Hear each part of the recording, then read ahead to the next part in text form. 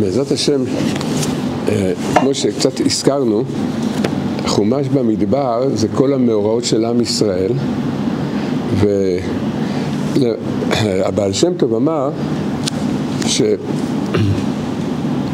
תודה רבה. שהמאורעות שהיה לעם ישראל במדבר זה עובר על כל דור ודור ולא רק על כל דור ודור אלא על כל יהודי ויהודי אז למעשה זה הכל מצבים והתמודדויות שלנו שהכל זה נרמז במסעות של, של עם ישראל שהם היו במדבר השבוע נראה את המעשה, המעשה אחד, אחד המקרים הקשים להבנה שקרה, שזה היה, שהקדוש ברוך הוא אמר למשה רבנו, דבר אל הסלע ומשה היכה בסלע. ועל זה, ועל זה שמשה היכה בסלע, אז זה הקדוש ברוך הוא אמר למשה, הוא אמר לו, יען כי לא הקדשתם אותי לעיני כל ישראל, לא תביאו את, אתה ואהרון לא תביאו את עם ישראל לארץ ישראל. זה מאוד קשה להבין בעצם כמה דברים. א', מה הייתה הטעות של משה? משה רבנו, גדול הנביאים והצדיקים, הקדוש ברוך הוא אמר לו לדבר אל הסלע. למה הוא היכה בסלע? למה, מה הסיבה שהוא היכה בסלע? וגם, מדוע, אחרי הכל אנחנו כולנו מבינים ש... מה, הייתה פה איזושהי טעות מצד משה. התורה אומרת את זה, אז אנחנו מבינים שהייתה פה טעות.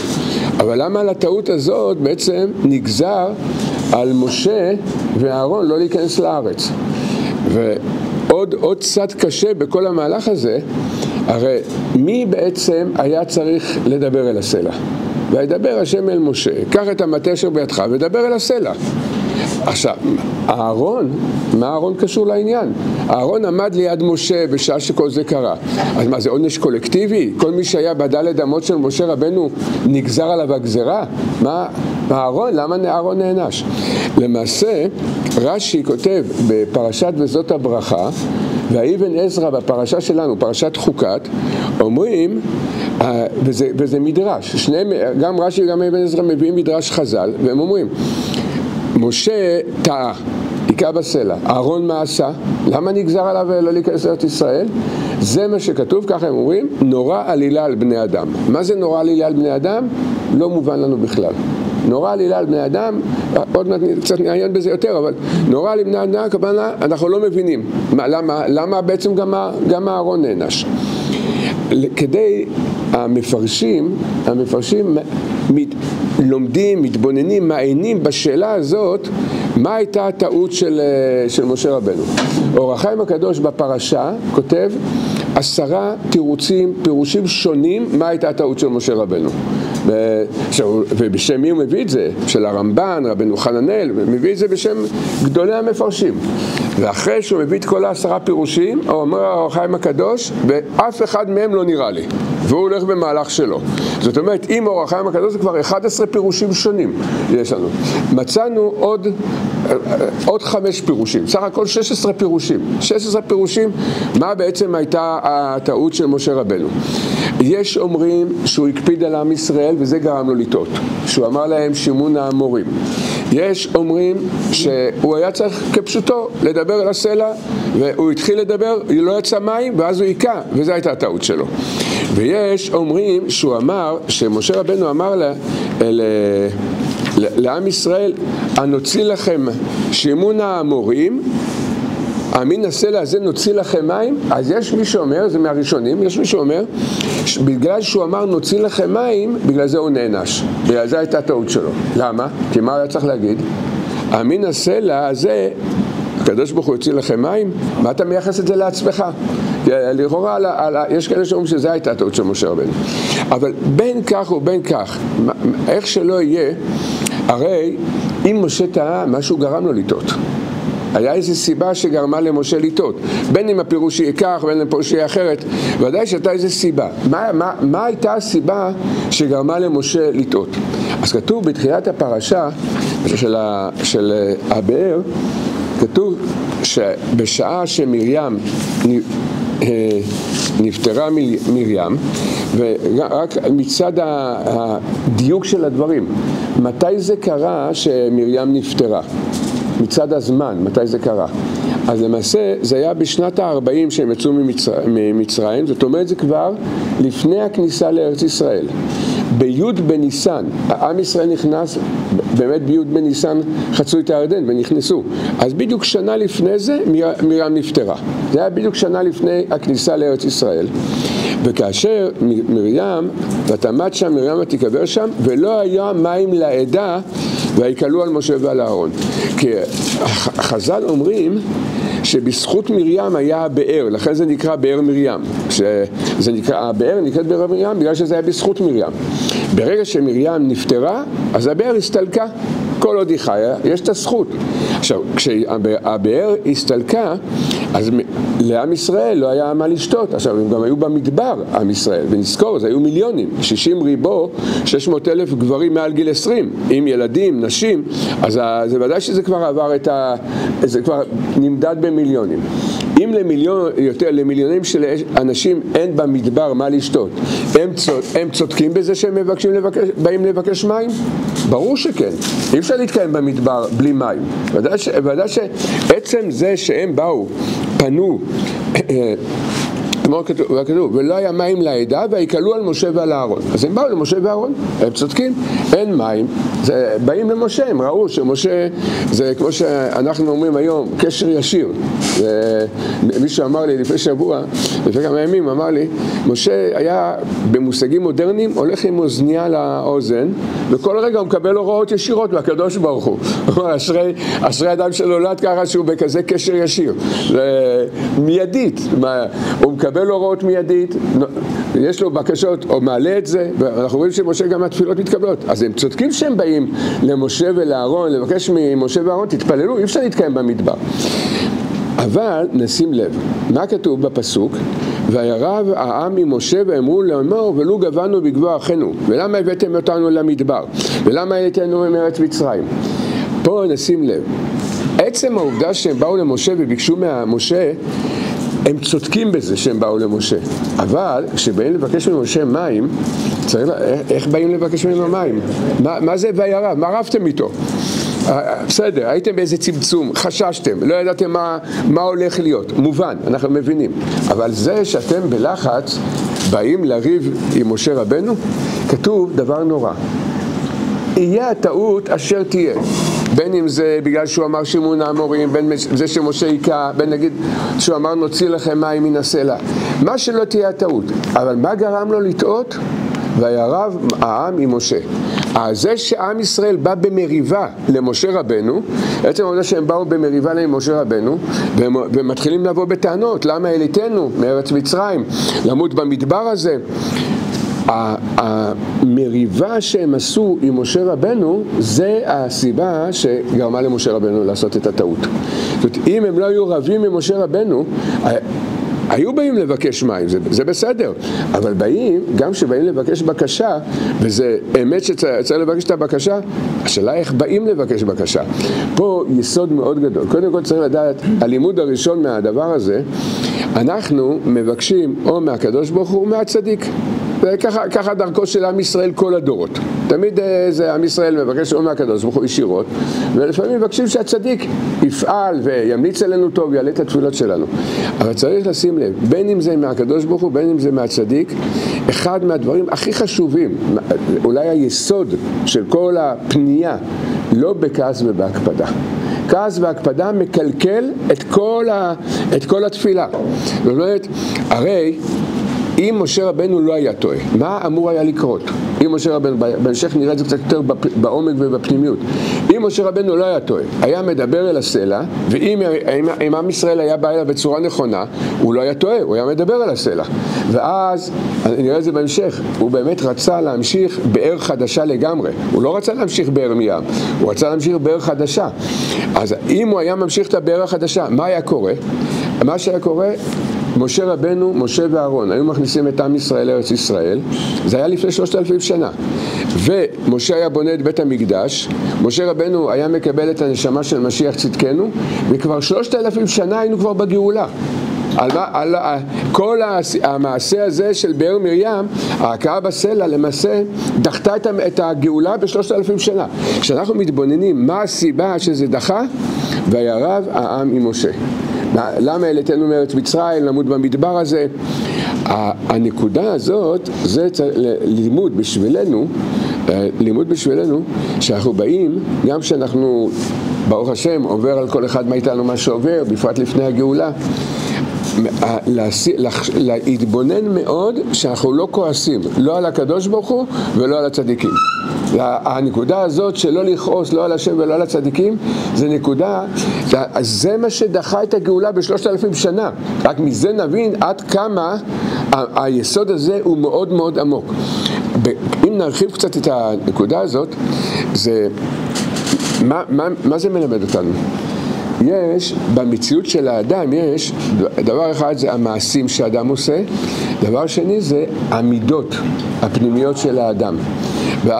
ויכול להיות שאדם עושה מעשים נכונים, ובאמת השם רצה שהוא יעשה את המעשה הזה, אבל על עצם, אם הוא עשה את זה במידות לא טובות, על זה יש דין מאוד קשה, על זה יש הקפדה מאוד קשה. זאת אומרת, הקדוש ברוך הוא, הרבה פעמים, עיקר הקטרוג או התעוררות מידת הדין, זה לא בגלל המעשים, אלא זה בגלל, זה בגלל בגלל איך שעשינו את המעשה, מה שהרגשנו בזה.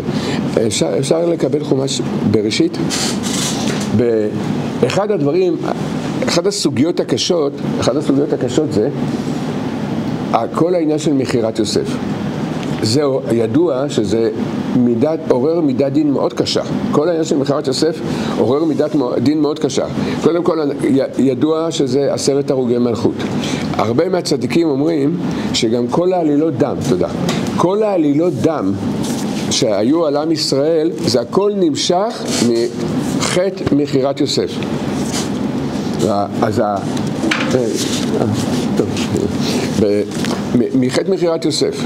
זאת אומרת שחטא מכירת יוסף זה דבר שהולך עם עם ישראל הרבה הרבה מאוד דורות. אני שמעתי מהרב זילבשטיין שהוא אמר שכל מה שהם הם, הם מאשימים, שהגויים מאשימים את עם ישראל, שאופים מצות בדם, שזה דבר, מה, מה זה שייך בכלל לחשוב כזה מחשבה? אחרי הכל, בורא עולם נתן להם את המחשבה, אז למה בורא עולם נתן להם את המחשבה הזאת? אז, אז הרב זיבשטיין אמר שזה הכל לתיקון מכירת יוסף, הדבר הזה. אבל מה היה בעצם מה, מה,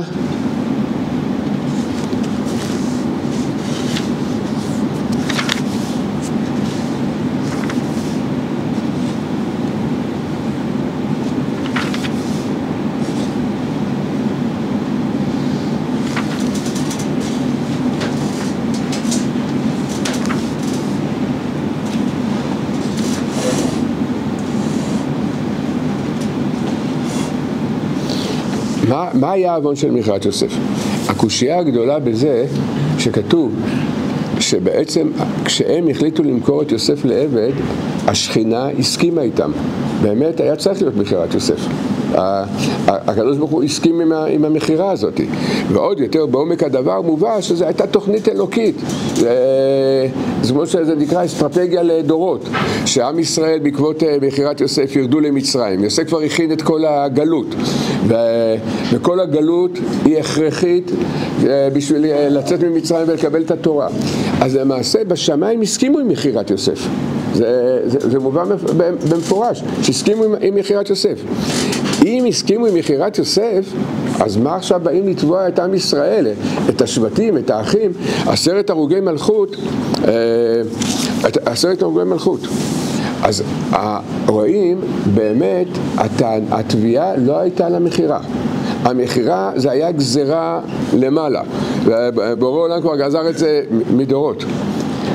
כשיוסף התחפש והתאכזר אל האחים, מה, מה אמרו האחים? מה הם אמרו? על כי ראינו בצרת אחינו, בצרת נפשו, ולא, ולא ריחמנו עליו. כל התביעה על מכירת יוסף לא הייתה על עצם המכירה.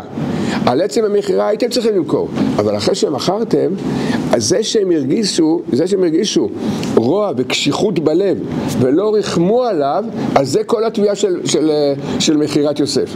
זאת אומרת שלמעשה, הקדוש ברוך הוא הרבה פעם, פעמים דן אותנו לא על עצם המעשה, על מה שאנחנו מרגישים, מרגישים בלב. לכן, האדם צריך גם גם למשל שהוא רב עם מישהו, הוא מקפיד, לשים לב מאוד מאוד בלב ש... שהוא לא, הוא לא, הוא לא נכנס למקום של רוע, רוע בתוך הלב, אכזריות בתוך הלב. האחים אומרים, על כי לא ראינו בצרת נפשו ולא ריחמנו עליו. על זה היה כל ההקפדה של, של מכירת יוסף. אז גם פה אנחנו רואים את זה, גם פה אנחנו רואים את הנקודה הזאת, ש... וירב העם עם, עם משה זה, זה שהוא בא בכעס, בהקפדה, בטענות על משה רבנו, זה עורר את כל הדין. לכן צריך הרבה, הרבה, בפרט עכשיו, על, על, להתחבר עם הטוב של המידות, עין טובה, רחמים, להתפלל הרבה על עם ישראל, על כל מה שעכשיו עם ישראל עובר, לראות, לראות, לא לכעוס ולא להקפיד. כי הכעס והקפדה, אפילו אם אדם עשה מעשה שהוא כן צריך לעשות, אבל אם עשה את זה בכעס והקפדה, זה כבר מקבל דרך אחרת לגמרי. התעורר הדין על האדם לא בגלל שעשית את המעשה, בגלל שעשית את זה עם כעס, עם כעס והקפדה. אז זה, זה נקודה, נקודה ראשונה בהתבוננות פה. אבל נחזור למה שאמרנו בהתחלה, שהרש"י והאבן עזרא אומרים, כל הסיפור הזה זה נורא עלילה על בני אדם, כי משה טעה, למה גוזרים גזירה גם על אהרון? זה לא, זה לא עונש קולקטיבי. נניח שיש איזו סיבה שמשה לא ייכנס לארץ, בסדר, שמשה לא ייכנס. אבל אהרון, מה, מה הוא עשה אהרון, שגם אהרון לא נכנס? הסיבה גם טוב, דיברתם אולי? תכף, אה, זה, תכף נראה, אה, זה, פשוט זה בהקלטה. יש מי שרוצה להגיד, יש מי ש... באמת יש מישהו שאומר שעצם העובדה שאהרון עמד ליד משה והוא ראה שמשה טועה, הוא היה צריך להגיד לו. אבל, אבל הרבה, הרבה מהמפרשים מאוד מתנגדים לדבר הזה, מאוד מתנגדים לדבר הזה, כי אהרון היה כל כך מבוטל למשה רבנו, שהוא לא היה מעז להגיד למשה רבנו, אל תעשה את זה. זה, זה בין, ביניהם. אבל על כל פנים, אנחנו רואים שחז"ל אומרים, בכל מקרה, יש, יש, הם אומרים נורא לילה על בני אדם. המושג הזה, נורא לילה, נורא לילה על בני אדם, צריך להבין מה הכוונה. בדרך כלל מפרשים את זה, וזה מובא בכמה מקומות, הלשון הזאת נורא על בני אדם, כאשר יש איזו הנהגה של הקדוש ברוך הוא שאנחנו לא מבינים כלום, אז אנחנו אומרים נורא על בני אדם. נורא הכוונה, לא מבינים למה הקדוש ברוך הוא עשה את הדבר. זה, בדרך, זה התשובה הפשוטה להבין מה זה נורא על בני אדם. דוגמה נוספת שמצאנו למקרה הזה, יש ספר שנקרא ליקוטי תורה, זה פירוש של רבנו הארי על, על, על, על החומשים, על חמישה חומשי תורה, לא, על כל התנ"ך בעצם, הוא מפרש. מיד בהתחלת הספר, בפירוש שלו על פרשת אה, בראשית, אז רבנו הארי אומר ככה, בלשון, זה כמעט המילה במילה הלשון שלו, הוא אומר, בשעה שהקדוש ברוך הוא אמר לאדם הראשון, מעץ הדעת טוב ורע לא תאכל ממנו, מיד נגזרה גזרה שהוא בהכרח יאכל ממנו. ואם תשאל, אם כך, מה זה החטא, נורא לי לעל בני אדם. ככה, זה, ככה רבנו ארי כותב. אז ה... אז גם פה יש את הנקודה של, רואים דוגמה של נורא לילה על בני אדם. דוגמה נוספת, הקדוש, משה רבנו ראה את כל הדורות, ראה את רבי עקיבא, הוא ראה את גדולת רבי עקיבא, הוא ראה את מיתת רבי עקיבא, הוא שאל את הקדוש ברוך הוא, זו תורה וזו שכרה? איך יכול להיות שאדם כזה גדול זה ייהרג בכזאת מיתה משונה? מה הקדוש ברוך הוא אמר לו? שתוק ככה לה במחשבה תחילה. עכשיו, זה צריך לעשות, מה, מה הכוונה שתוק לה במחשבה תחילה? וזה גם הפירוש של נורא עלילה על בני אדם. פירוש הדבר, יש, יש כלל, כולם בחוכמה עשית. לכל מעשה, כל מאורע, כל דבר שקורה בעולם, הכל הוא מונהג בהשגחה של הקדוש ברוך הוא עם חוכמה עליונה. חוכמה עליונה הכוונה, יש פה איזו תוכנית של הבריאה, הכל זה בתוך התוכנית. אין שום דבר שיוצא מחוץ לתוכנית של, של בריאת העולם. אבל מה זה נורא עלילה על בני אדם, ומה זה לשתוק ככה על הבמה בתחילה? יש הנהגות, יש מציאויות, דברים שקורים, שאנחנו, הבן, האדם לא יכול בשום פנים ואופן להבין את זה. זאת אומרת, חלק מהדברים הקדוש ברוך הוא כן נתן לנו להבין, אתה חונה לאדם דעת, חנן אותנו בדעת, אז הוא מגלה לנו, מסביר לנו, מרחיב לנו את הדברים, ואנחנו יכולים להבין. ויש דברים שצריך לדעת, ההנהגה של הקדוש ברוך הוא נעלמת ונסתרת, ואנחנו לא יכולים להבין. לעתיד לבוא, נבין את כל הנורא עלילה על בני אדם. כל, כל הבחינות של נורא עלילה על בן אדם אנחנו נבין. ראיתי, יותר נכון שמעתי תשובה, מה, מהרב שמעתי את זה, שהוא אמר לגבי חטא האדם הראשון, נורא עלילה על בני אדם, היה היה הכרח שהוא יחטא. כמו שרבנו ארי כותב, היה מוכרח שזה. זה נורא לי המוכרחות. אז אם כך, למה אנחנו אומרים חטא אדם הראשון? וכל הדורות סובלים מזה, והגירוש מגן עדן, וכל התיקונים, האין סוף תיקונים שעם ישראל עובר, זה הכל מתחיל מחטא אדם הראשון. אם uh, בורא עולם עשה את זה, אז למה האדם הראשון חטא? אנחנו אומרים חטא אדם הראשון, אז למה הוא חטא?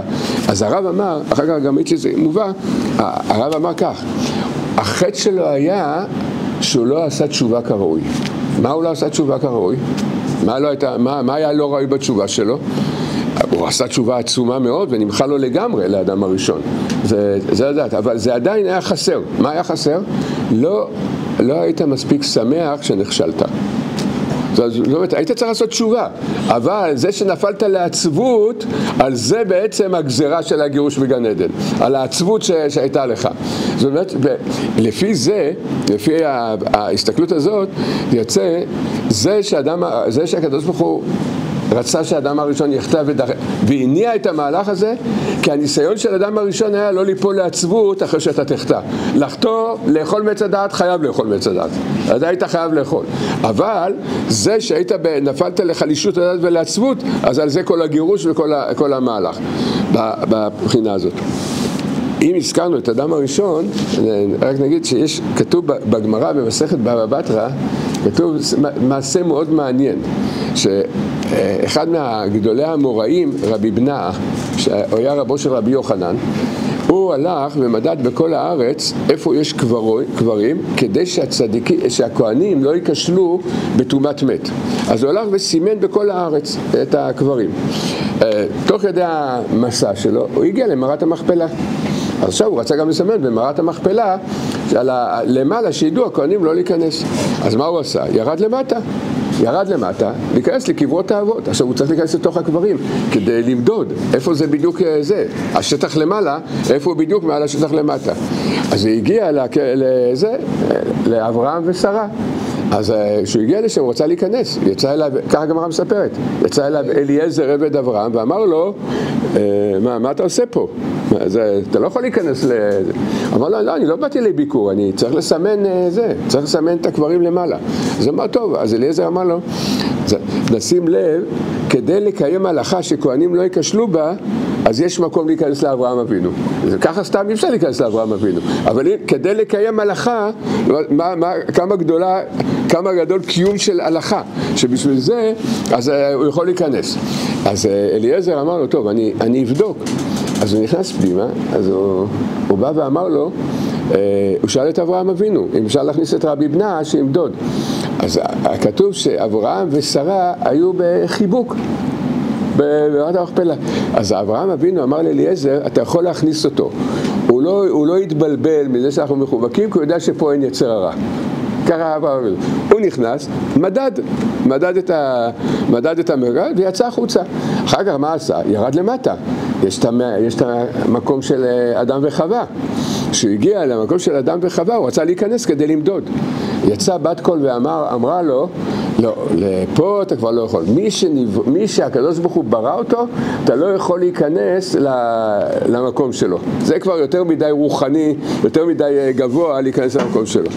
אז, אה, אז רבי בנה אמר, אמר, בסדר, אבל אני צריך למדוד אה, למעלה את הכיוון, זה, לדעת בדיוק לסמן איפה שלכהנים אסור ללכת. אז יצא, הבת קול אמרה לו, זה בדיוק מתחת למערה של אברהם, אתה לא צריך להיכנס. זה בסדר.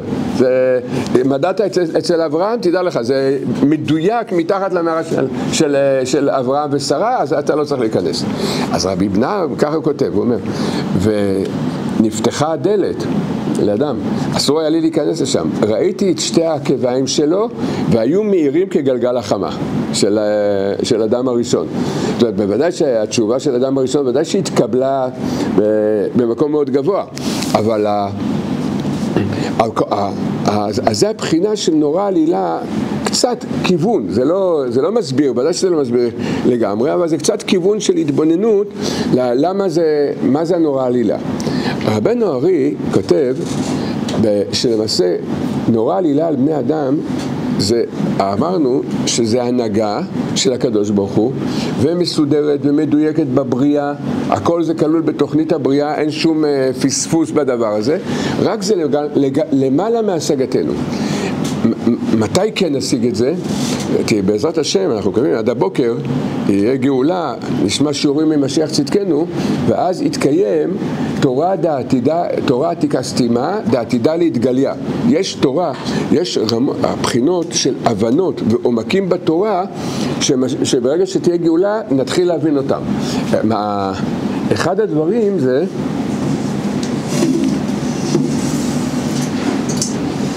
שכתוב, בספר ישעיהו כתוב, תורה, תורה מאיתי תצא, זה הלשון של הפסוק, ובמדרש כתוב תורה חדשה מאיתי תצא. זאת אומרת שיהיה גילויים נוראים, עצומים ונוראים, ואז אנחנו גם נבין את הנורא עלילה על בני אדם. גם את הדברים הנסתרים מאיתנו, גם את הדברים הנסתרים מאיתנו, נתחיל להבין שאת הנורא עלילה על בני אדם, איך זה, איך זה היה מובן וחלק מהתוכנית הבריאה והכל היה במקומו והכל היה מדויק, מדויק מאוד. מכיוון שפנימיות התורה, זה מה שנקרא סודות התורה, מגלים את סודות ההנהגה. מה שלנו סוד היום, בסודות התורה זה מתחיל להתגלות. וגם, ורבנו ארי, כדרכו בקודש, גם פה נותן פירוש. הוא נותן פירוש על כל העניין, מה הייתה בעצם הטעות, או מה היה, מה היה המהלך של, שמשה היכה בסלע במקום לדבר על סלע, ולמה נגזר גם על משה וגם על אהרון לא להיכנס לארץ, אז הוא נותן כדרכו בקודש, הוא נותן פה פירוש קצת יותר לעומק, בפנימיות הדברים. ורבנו ארי כותב יסודות מאוד גדולים בדבר הזה. הוא אומר, באופן כללי, בכלליות, יש שתי הנהגות שהקדוש ברוך הוא מנהיג את, את, את העולם ואת עם ישראל בפרט. הנהגה אחת זה נקרא הנהגת לאה, והנהגה אחת זה נקרא הנהגת רחל. כידוע, גם מדברי הזוהר, גם מדברי רבנו ארי, שהנהגת לאה היא יותר גבוהה מהנהגת רחל, והלשון בזוהר ובכתבי רבנו ארי, שאנחנו רוצים לתאר את הקשר או את היחס בין הנהגת לאה להנהגת רחל, אז נוהגים לתאר את זה בצורה כזאת, שלאה עומדת מעל רחל, בצורה כזאת, והעקביים של לאה בכתר או בראש של, אה, של רחל. זה בדרך כלל, ועל זה מביאים את הפסוק, מה שעשתה חוכמה, עטרה לראשה, עשתה ענווה, אה, עקב לסולייתה. אה, זאת אומרת שזה לאה ורחל, ענווה, לאה נקראת ענווה, אז היא מעל, רחל נקראת חוכמה, יראת השם, היא נמצאת מתחת, והקשר ביניהם זה מבחינה הזאת. אז לאה יותר גבוהה, לאה יותר גבוהה מרחל. אז אומר, אומר רבנו הארי כמה יסודות בדבר הזה. אומר, כשעם ישראל יצא ממצרים, כל הדור של יוצאי מצרים היו מבחינת לאה. לכן זה נקרא דור דעה, כי לאה היא מאוד גבוהה. אז זה דור דעה וכולם היו מבחינת לאה. ובוודאי שכל הדור היה לאה, בוודאי שגם משה ואהרון הם, הם מנהיגי הדור. אז בוודאי שהם מבחינת לאה. אבל כשמרים נפטרה, כבר כל, כל דור יוצאי מצרים נפטרו כבר. הם מתו בגזירת המלאכים, זה המרגלים, זה היה השנה, השנה 40, כמו שאמרנו קודם, זה היה בתחילת שנת ה-40, מרים נפטרה. בשלב הזה כבר כל דור מצרים, יוצאי מצרים כבר נפטרו. ו... אה, ו אז אומר רבנו ארי, והדור של הבנים של יוצאי מצרים, כולם היו מבחינת רחל.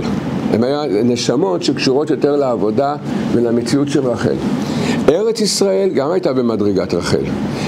ומשה ואהרון בעצמם, הם היו כל כך גבוהים שהם היו מבחינת לאה. אומר רבנו ארי, לכן משה ואהרון לא היו יכולים להיכנס, כי העבודה של רחל, עם ישראל שיצא, שנכנס לארץ ישראל, היה צריך לעשות עבודה של בחינת רחל. משה ואהרון כבר לא שייכים בכלל לעבודה הזאת, הם יותר מדי גבוהים לעבודה של, של בחינת רחל. לכן אומר רבנו ארי הקדוש, הם באמת לא היו יכולים להיכנס לארץ ישראל. משה ואהרון באמת לא היו יכולים להיכנס לארץ ישראל, כי הדור היה דור של בחינת רחל, ארץ ישראל הייתה, הקדושה שהעירה אז הייתה בבחינת אה, רחל, לכן אומר רבנו ארי הקדוש, לכן באמת משה ואהרון לא היו יכולים להיכנס, לא יכולים להיכנס לארץ ישראל, כי הם לא היו מבחינת הדור ומבחינת ארץ ישראל באותו זמן. כך מסביר רבנו ארי הקדוש. אז על זה מתעוררת שאלה. אז, אז אתה, רבנו ארי הסביר לנו ש, שמשה ואהרון לא שייכים למציאות עכשיו של עם ישראל, לכן גם יהושע בן נון, שהוא מבחינת רחל, הוא, הוא, קיבל, הוא, הוא נהיה המנהיג של עם ישראל. כי המנהיג צריך להיות שייך למהות הדור. אז פה מתעוררת קושייה גדולה. אם זה הסיבה, אם זה הסיבה, אז זה לא כתוב בתורה. בתורה כתוב שלמה בעצם משה ואהרון לא נכנסו? יען כי לא האמנתם בי להקדישני לעיני כל ישראל. בגלל הטעות הם לא נכנסו. אז מה, איך, איך רבנו ארי הסביר את הפנימיות עם הפשט? בתורה כתוב, בגלל שמשה היכה בסלע הם לא נכנסו. ואם משה לא היה מכה בסלע, ולפי רבנו ארי, אתה אומר שבכלל לא שייכים למהות הדור, ולא שייכים לאותה הנהגה. אז אם נניח שמשה רבנו היה מדבר אל הסלע, והוא כן היה יכול להיכנס. אז איך זה מסתדר? אתה אומר שמשה ואהרון הם לא ממהות הדור. אז מה, מה, פה, מה פה הנקודה העמוקה? איך מחברים בעצם את הסיפור של הפשט עם הפנימיות של העניין של, שרבנו ארי מגלה, שזה עניין של לאה ורחל. אבל העומק עומק של הדבר זה שמשה ודאי ידע את כל זה. משה ידע שהוא מבחינת לאה ושהדור מבחינת רחל. מה שרבנו ארי גילה, אז ודאי ש, אה, שהוא ידע, ידע את כל זה, משה רבנו. אלא כל העניין של לדבר אל הסלע היה להעלות את כל עם ישראל למדרגה שנקרא איחוד לאה ורחל ביחד. זאת אומרת, יש מדרגה, שזה נקרא מדרגת הגאולה. מדרגת הגאולה זה כאשר לאה ורחל יהיו, זה נקרא לעשות איחוד ביניהם, איחוד וחיבור ביניהם, וכאשר יהיה את האיחוד והחיבור של בין לאה ורחל, אז כל הנשמות של עם ישראל, כולם כלולות כבר במדרגה הזאת. אין נשמות לאה, אין נשמות רחל, ודאי שוודאי של משה רבנו, אז יש אחדות כזאת שהבחינה, בגלל ההכאה, בגלל שמשה רבנו לא העלה את כל הנשמות ואת כל, כל הדור לבחינת לאה ורחל, לכן משה רבנו לא יוכל להיכנס. אבל אם הוא מעלה, אם אילו היה עושה את האיחוד, ומשיח צדקנו יעשה את האיחוד, הגאולה זה בעצם קיום האיחוד הזה, לרבנו ארי כותב, אז ממילא כל הנשמות כלולות כבר בגאולה. אז זה אחדות, אין, אין נשמות לאה, אין נשמות רחל, כולם בעצם נכללים באחדות אחת ולכולם יש מציאות ביחד, וארץ ישראל מקבלת קדושה שנקראת קדושת לאה ורחל ביחד. אז כך, כך, כל זה זה מסביר רבנו ארי. את היסוד הזה, רבנו ארי מסביר את זה. אבל המושגים מאוד יפים, אבל מה זה בעצם אומר לנו קצת הלכה למעשה? כלומר, בסדר העבודה שלנו, מה זה אומר נשמות מבחינת לאה, נשמות מבחינת רחל, עבודה, ושצריך לעשות איחוד בין לאה ורחל. רבנו ארי גם כותב שעל זה כתוב שמלאה, כידוע, זה יהודה, דוד, מלכות משיח בן דוד, מרחל, הפועל יוצא זה יוסף, זה אפרים ומשיח בן יוסף. משיח בן אפרים, משיח בן יוסף. אז הרבנו ארי כותב, שכתוב בהפטרה של פרשת ויגש, בספר יחזקאל, ולקחתי את עץ יהודה ועץ אפרים ועשיתים לאחדים בידי. מה זה עשיתים לאחדים בידי? עץ יהודה זה לאה. עץ אפרים זה רחל. מה הקדוש ברוך הוא אומר? ועשיתים אחדים בידי, אני אעשה את האחדות של לאה ורחל. אז, כל, אז בעצם יש שלמות כזאת, שכל הבריאה תגיע לשלמות שלה, וזה עניין של הגאולה. רבנו, רב, רבנו ארי אומר שזה הנקודה של, ה, של הגאולה. במאמר מוסגר נשים בזה עוד נקודה, גם, שזה גם הייתה הטעות של ראובן. ראובן כשרחל נפטרה, כתוב בזוהר הקדוש, שנשמת רחל עלתה למעלה ועשתה ייחוד עם נשמת לאה. בסדר, זה סודות, לאה ורחל עשו ייחוד. ואז, אחרי, אחרי שקברו את רחל בבית לחם, כתוב בפרשת וישלח, מה יהיה המסע הבא של יעקב? לאן הוא בעצם נסע? אה, עם כל המחנה הגדול, לאן הם נסעו? במקום שנקרא מגדל עדר. במקום שנקרא מגדל עדר, שם בעצם מה עשה ראובן? לקח את המיטה של יעקב אבינו והכניס את זה למיטה של רחל, של לאה. הוא אמר, למה, למה הוא השאיר את זה, את, את מיטתו, וכולם ידעו שזה ייחודי וזה הנהגות מאוד רוחניות מאוד גבוהות, אז הוא אמר, למה הוא השאיר אותה בזה, את מיטתו אצל בילה, קינה לאימו. בפשט, הפירוש הפשטות שהוא קינה לאימו. אבל הרי הם היו נביאים. עכשיו, הוא, הנקודה של ראובן זה להתעסק בדיוק, מי אמר לך שעכשיו לאה נפגעה מזה גם? מה, היא סיפרה לך את הדבר הזה? אלא העומק והפנימיות של הדבר, כל זה, איפה זה היה? במקום שנקרא מגדל עדר. בתרגום יונתן בן עוזיאל כתוב, מה זה המקום הזה? ההוא אתרא, אותו מקום, דעתיד מלכה משיחה להתגליה ולקנוס את כל נשמות ישראל. זה היה, המקום שהם הגיעו זה מקום הגאולה. מה ראה ראובן? ראובן זה ראובן, זה מסוד הראייה העליונה, הוא מסוד אור העיניים, זה כתוב, שהוא מאוד מאוד גבוה ראובן. מה הוא ראה? המקום זה המקום של הגאולה. מצד הייחוד, אחרי פטירת רחל, לאה ורחל התייחדו ביחד. כדי, זה מצד, כשאנחנו מתבוננים על לאה ורחל, שיש ייחוד ביניהם. מצד יעקב, הוא כבר עלה למדרגה חדשה יעקב. איזה מדרגה יעקב עלה? ישראל. לפני זה, לפני זה הוא קיבל את השם ישראל מהמלאך. ישראל זה יעקב בגדלות. זאת אומרת, מצד לאה ורחל יש את המקום של הייחוד. יש את מדרגת הייחוד. המקום זה מקום הייחוד, שעתיד המשיח להתגלות. יעקב כבר עשה, מבחינתו השלים את הקומה של הצדיקים, שזה נקרא ישראל, ישראל ויעקב. אז כבר השלים את הקומה הזאת. מה ראה ראובן? הכל מוכן לאיחוד, לאיחוד העליון שיביא את הגאולה, שלאה ורחל זה כבר, אפשר לעשות איחוד שלם לאה ורחל. למה נשארת בעול של השפחה? תעשה עכשיו ייחוד עם, עם, עם, עם לאה ותביא את הגאולה, תפעל את הפעולה של הגאולה. אז מה, מה הייתה הטעות של ראובן בעצם? מה הייתה הטעות שלו? מה? אתה רואה מה שאתה רואה, אתה רואה מה שאתה רואה. יעקב לא רואה את זה? יעקב, יעקב לא יודע את כל החשבונות שלך? וזה שוב פעם, תשימו לב, אותו נקודה, כמו פה, וירא העם ממשה, גם כן המחלוקת על הצדיק. זה, זה הכל, תמיד זה הולך סביב הנקודה הזאת. ראית מה שראית. אז אבל תדע לך, גם יעקב רואה את מה שאתה ראית, גם הוא יודע את כל הדברים האלה. אז למה הוא בחר, למה באמת יעקב, אז באמת אם כך, אז למה יעקב לא רצה לעשות את האיחוד הזה? לכאורה, לכאורה ראובן צודק, תעשה את האיחוד הזה. אומר רבנו אריה הקדוש, שיעקב ידע מה שראובן לא ידע, שצריכים להיות, כדי שהוא יוכל לעשות את האיחוד הזה, צריך להיות עוד שני שבטים. אם השבטים היו י"ד שבטים, וזה... יד על כסקה. מה זה יד? י"ד שבטים, אז הקדוש ברוך הוא, אז נשלם הכיסא. הכיסא זה 15, כסקה, הכס של י"ק, של שם השם, ואם יש 14 שבטים אפשר לעשות את האיחוד הזה. ויעקב אבינו ידע שיש כבר שני נשמות כבר יצאו, מאוצ... יצאו מאוצר הנשמות בדרך כבר לבוא לעולם. אבל זה חייב, אה, הנשמות האלה מצד הסדר וההשתלשלות צריכים לבוא דרך בילה. זו הייתה הטעות, כי זה נשמות שהן קשורות לבחינה של רחל. אז עכשיו, אם הוא יעשה איחוד עם לאה, הוא לא יכול להביא את הנשמות האלה. וזו הייתה הטעות, זה, את זה ראובן לא, את זה הוא לא יודע. לכן, כתוב שעל שתי הנשמות האלה, באמת הם בצד רחל, אז זה יוסף, ושהוא בירך את אפרים ומנשה, אמר, אפרים ומנשה כי ראובן ושמעון לי הוא, לי הם. זאת אומרת שאז שם, רבנו ארי אומר, שם הוא גילה שבעצם זה הנשמות שלו, לכן הם שבטים, כי שבטים זה הבנים של יעקב. לכן הם נקראים שבטים, אבל אם הם היו נולדים מיעקב, היה שם תיקון שלם מאוד.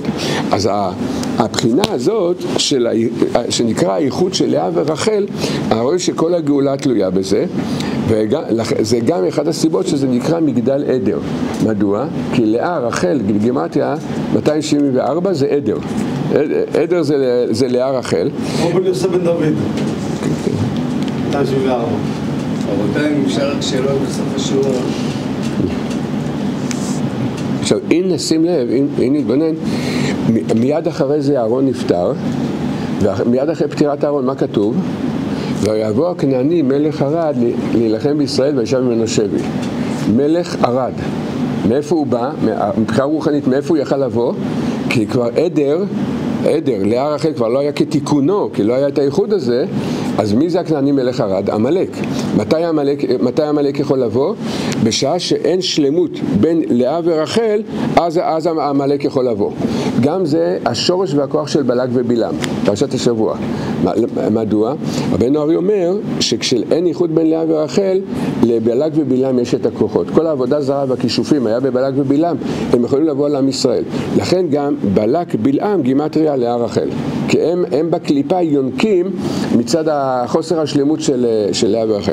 אבל הלכה למעשה, מה זה אומר בעצם הלכה למעשה לאה ורחל? אז צריך לדעת שכל המידות וכל הבחינות העליונות ב- כשהן משתלשלות אלינו, זה יוצר בעצם מציאות של עבודה. אצלנו זה מציאות של עבודה, הבחינות האלה. אז יש, יש כמובן שהעבודה שלנו כלפי הקדוש ברוך הוא מתחלקת להרבה חלקים ופרטים, אבל זה יוצא משני שורשים עיקריים, שורש אחד נקרא לאה, שורש אחד נקרא רחל. רחל, וממנה יוסף ומשיח בן יוסף, זה הבחינה של המסירות נפש. מה, מה הכוונה מסירות נפש? פירוש הדבר, אין דבר בעולם שאדם יכול לעשות, בין ברוחניות בין בגשמיות, אבל בוודאי ובוודאי ברוחניות, שאדם יכול לעשות אותו בלי מאמץ. לא, לא מדבר על מקרה פרטי שזה זורם, אבל באופן כללי, בדרך כלל, כל דבר שאדם רוצה לעשות, בפרט אם הוא רוצה להתחזק ולעשות דברים טובים ברוחניות, רואים, בלי מסירות נפש, מסירות נפש הכוונה מאמץ. אי אפשר לעשות שום דבר בלי מאמץ. זה הבחינה הזאת, סדר העבודה, התיקון הזה, לעשות, להתאמץ כדי לעשות דברים, זה נקרא הנהגת רחל. זה הכל יוצא מהשורש של רחל. בספרים כתוב שגם לאה וגם רחל, שתי ההנהגות האלה, היסוד שלהם זה לתקן את חטא הדם הראשון שבתוכנו. מצד חטא הדם הראשון בתוכנו נכנס בחינת עצלות ועצבות ורצונות של תאוות של העולם הזה. אוהבים את העולם הזה, מחטא הדם הראשון אנחנו אוהבים את העולם הזה. מאהבת העולם הזה, מאהבת העולם הזה, קשה לנו לעשות דברים ברוחניות. מדוע? כי העולם הזה והרוחניות זה שני הופכים. כשאדם אוהב את העולם הזה, הוא לא יכול לעשות דברים ברוחניות. כשאדם אה, אוהב את הרוחניות, הוא לא סובל את העולם הזה. זה לא מסתדר ביחד. שתי הדברים האלה, זה, זה, במק, זה נובע ממקום מאוד פנימי, הבחינה הזאת, וזה זה שני דברים מנוגדים. כל נקודה של אהבה שיש לאדם לעולם הזה, ואנחנו לא אומרים דווקא עבירות, אפילו שאדם לא עושה עבירות, הוא אוהב את העולם הזה, זה כבר מסך ב, על, על, על, על המציאות הרוחנית שלו. ב, כדי לתקן את זה, שזה נמשך בתוכנו מחטא הדם הראשון, כדי לתקן את זה, זה העניין של המאמץ, זה העניין של לעשות מסירות נפש.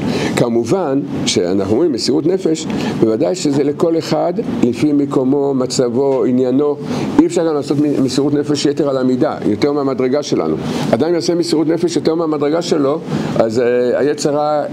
ישבור אותו לרסיסים, זה לא, זה לא פשוט, צריך חוכמה, צריך התבוננות ודעת לדעת איזה מסירות נפש לעשות ומה נכון לעשות, זה לא אה, זה, כי רגע זה התיקון, אז בסדר בוא נעשה מסירות הנפש עד הסוף, לא לא, תיזהר, הוא, הוא, הוא, הוא יכול, הסמ"ך מ"ם יכול לעזור לך לעשות מסירות נפש, הוא יודע גם איך לשבור אותך אחר כך על המסירות נפש, אז ודאי שצריך את זה, אבל צריך לעשות את זה עם דעת נכונה, כל זה הבחינה, זה נקרא תיקון רחל. התיקון, תיקון רחל זה התיקון של המסירות נפש. מכיוון שאחד המצבים הכי קשים של התמודדות נפש האדם איתם, זה בתאווה הידועה, לכן מקשרים מאוד את העניין של uh, תיקון רחל, תיקון יוסף, לנקודה הזאת. וכתוב במדרש, מדרש רב השיר השירים, שכל הכוח של עם ישראל, עד ביד משיח תתקנו, אותו כוח שיש לנו, בכלל להתמודד עם התאווה הידועה, הכל נמשך מיוסף הצדיק.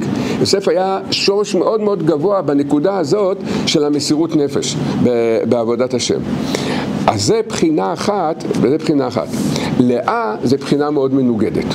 לאה זה כמעט מציאות הופכית לעניין של, אה, של רחל. מה זה העניין של לאה? העניין של לאה זה שהאדם יבטל את שורש הגאווה והפירוד שנכנס בתוך הנשמה, בכולנו, מחטא הדם הראשון, מבחינת לאה, מבחינת רחל, שאדם עושה מסירות נפש, זה מעלה גדולה מאוד, זה, זה דבר גדול מאוד, הוא תיקונים מאוד גדולים. יש בחינה שאצל לאה זה פגם הדבר הזה. למה? מדוע? מדוע, למה, מדוע מצווה אצל רחל יכול להיות פגם אצל, אצל לאה? כי יש מצב שיכול להיות שאדם מוסר את הנפש, ברוך השם, הרבה זמן, זוכה למסור את הנפש, ואז בטבע, בטבע האדם, למה? מחטא האדם הראשון. נכנס בתוכנו את המחשבה, בורא עולם, אתה שם לב לנקודה הזאת שיש פה בדור הזה עכשיו מישהו שמוסר את הנפש לכבודך בצורה כזאת ואז האדם מתחיל, מה, מה האדם יכול, לאיזה נקודה האדם יכול להימשך ולהיתפס? לגאווה. עכשיו, זה, צריך לדעת שזה לא גאווה חיצונית, שעכשיו הוא יסתובב ברחוב וירצה דרגות של אלוף. בבחינה הזאת, זה אפילו דקות, דקות של מחשבה, זה, זה, השורש זה אני, זה הבחינה של אני. אני, ברור עולם, אתה שם לב שאני עשיתי את זה. אני לא, לא מבקש שתפרסם את זה, רק ש, שתדע את הנקודה הזאת. ואז צריך לתקן גם את הנקודה של הגאווה, הישות הפנימית הזאת שנקראת אני, לבטל אותה. ומה הביטול שלה? להפוך כל אני לעין. להכניס את היוד, שהיוד לא תהיה בסוף. היוד, אה, היוד תהיה מוסתרת. זה, היוד זה החוכמה. אז כשהיוד בסוף, אז היא, היא פונה לה לכולם. תראו כמה שאני חכם, תראו כמה שאני יודע. תסתיר את זה, תכניס את זה לתוך הזה. תסתיר אותה בין האותיות, בין, בין, תכניס אותה בין האותיות. וזה לתקן את, אה, לאה זה נקרא לתקן את נקודת הפירוט שיש בינינו לבין הקדוש ברוך הוא. לכן כתוב, בפסוק כתוב, לתאווה יבקש נפרד. לתאווה, תיקון התאווה, זה אהבת העולם הזה, זה בחינת רחל. נפרד זה בחינת לאה. עכשיו, מה הקושי הגדול הרבה פעמים? שיש במציאות שלנו יש הרבה פעמים, אנחנו רואים סתירה והופכיות בין עבודת לאה ובין עבודת רחל. מדוע? כי פעם השם מנהיג את האדם בהנהגת רחל, פעם השם מנהיג את האדם בהנהגת לאה. כאשר הקדוש ברוך הוא מנהיג אותנו בהנהגת רחל, האמת לאמיתה, תעשה מסירות נפש לכבוד השם, מה, שאתה, מה ששייך באותו רגע, תעשה שם מסירות נפש. אבל כשההנהגה מתהפכת להיות הנהגת לאה, שמה מסירות נפש יכולה להיות פגם. למה? כי מורידים, מעבירים את האדם איזה מציאות אה, ומשמיים עכשיו סגרו את האדם באיזשהו דלת אמות, הורידו עליו מציאות רוחנית, אומרים לו, זה עכשיו המציאות שאתה תהיה. אז מה, מה, מה העבודה? כפוע, כופים הר כגיגית, יש כזה כופים על האדם את המציאות הזאת. אז איזה עבודה יש לנו ברגע שכופים את, את, את, את הבחינה הזאת? העבודה, תיקון לאה זה, כתוב שלאה נקראת בלשון חז"ל ענווה. התיקון של, של לאה זה להסכים עם ההנהגה של הקדוש ברוך הוא. זה מה שמנסר את הפירוד. מה שמנסר את הגאווה הפנימית זה שאדם מקבל את ההנהגה של הקדוש ברוך הוא. וככל שאדם צריך יותר לכל אחד יש שורש בתיקון התאווה ולכל אחד יש שורש בתיקון הפירוד. ככל שלאדם יש יותר שורש בתיקון הפירוד, הוא יותר יעבור נסירות בדבר הזה. מה זה נסירות? לנסר מתוכו את הפירוד. איך, איך, מנסרים, את, איך מנסרים את הפירוד? ובפרט, שמה, מה הקושי בעצם בלתקן את הפירוד? אנחנו בכלל אפילו לא מודעים לזה, אנחנו אפילו לא רואים. אני יכול להבין שיש לי מידות לא טובות, יש לי תאוות, אני צריך לבטל אותן כדי לעשות את רצון השם. אבל לתקן את הפירוד, למה זה כל כך קשה לתקן את הפירוד? כי אנחנו בכלל לא מודעים לפירוד שיש בתוכנו, כל כך פנימי ודק בתוכנו, שאנחנו לא מזהים בכלל את הפירוד. אבל כשלאדם יש אה, שורש, לכל אחד חייב לתקן שתי הבחינות, אבל כשאדם יש לו תיקון גדול בעניין של הפירוד, מה תהיה ההנהגה כלפיו? איזה, איזה מין מהות של ההנהגה תהיה? שהוא יעבור מצבים שהוא לא מבין, הקושיות, זה נורא עלילה על בני אדם, שתוק ככה לה במחשבה תחילה, הוא יעבור את זה הרבה, והתיקון שלו יהיה כפי כמה שהוא מקבל את זה באהבה, כמה שהוא נכנע להנהגה של הקדוש ברוך הוא, ככה הוא מתקן את שורש הפירוט שבתוכו. ככל שלאדם יש שורש יותר גבוה בתיקון של הפירוד, אז הוא, יהיה, הוא יותר יעבור מצבים שהוא לא יבין אותם בחיים שלו. ואם לאדם יש שורש בתיקון התאווה, אז ייתנו לו משמיים, זה יותר רחל. אז ייתנו לו יותר עבודות לעשות בפועל, עבודות לכבוד השם. זה, זה, הכל נמשך בעצם מהעניין של, העניין של לאה והעניין של רחל. בהלכה למעשה, מה שקשה מאוד בדבר הזה, זה כשההנהגות משתנות. כשההנהגות משתנות. הרי כל אחד מאיתנו, יש זמנים ומצבים שמנהיגים אותנו ברחל, יש זמנים ומצבים שמנהיגים אותנו בלאה. כאשר מנהיגים אותנו ברחל, האמת באותו זמן תעשה מסירות נפש לכבוד השם. זה האמת, כי אתה ברחל, בהנהגת רחל. זה העבודה עכשיו, לעשות מסירות נפש. אבל כשמתהפך להיות הנהגת לאה, פתאום האדם אומרים לו, זהו, עכשיו, עכשיו שב. שב, שמים לו, אם אדם זוכה, שמים לו אזיקים על הידיים ועל הרגליים, קושרים אותו לאיזה כיסא, הוא לא יכול, לזה, הוא לא יכול לעשות תנועות, הוא לא יכול לעשות שום דבר ברוחניות. ואז מה קורה? מתחילים להקפיד.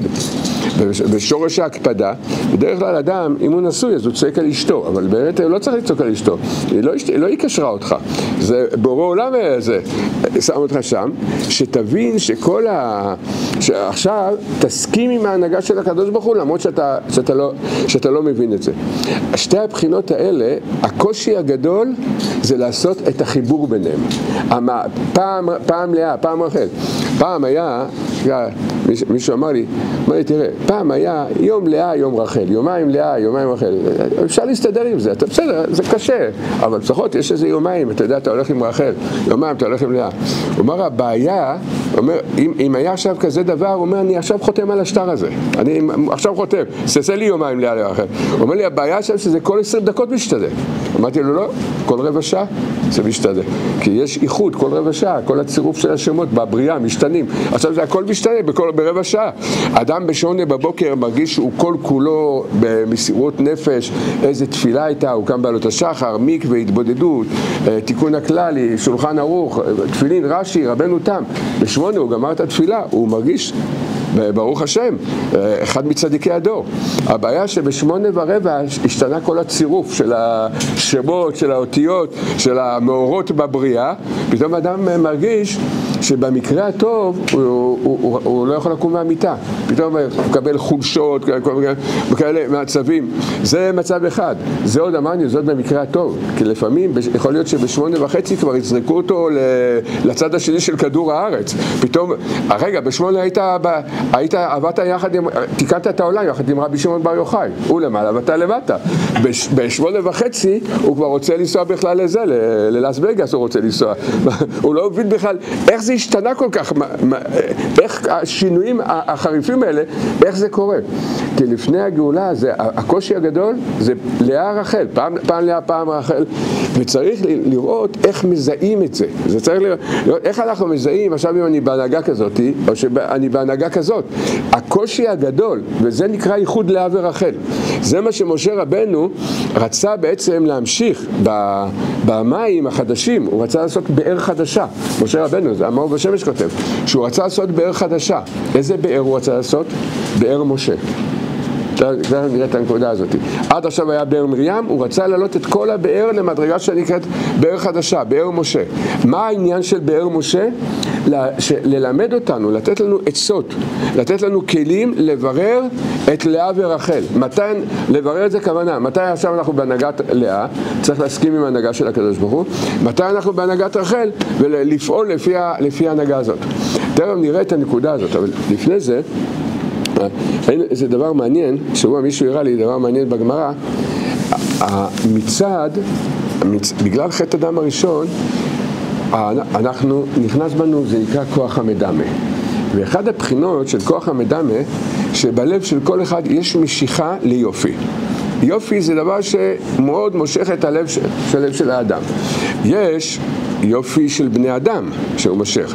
בוודאי, ש, בוודאי שיופי של אישה זרה לאדם, בוודאי שזה, כולנו יודעים שזה אסור ואסור ללכת מבחינה הזאת.